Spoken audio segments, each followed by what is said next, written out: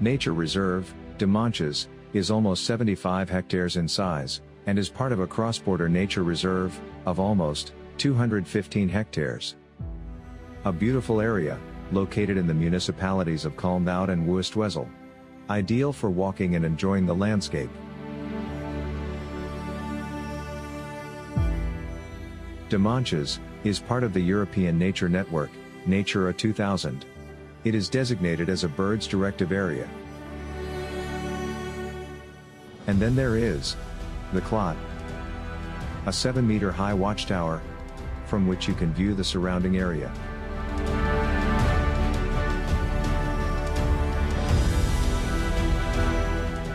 Rare bird species have found their place here. Wonderful. To be able to spot them from the tower. Furthermore, plans from the First World War show that the death wire ran near the tower. As part of the many commemorations, a reconstruction of this wire has been placed at the base of the tower.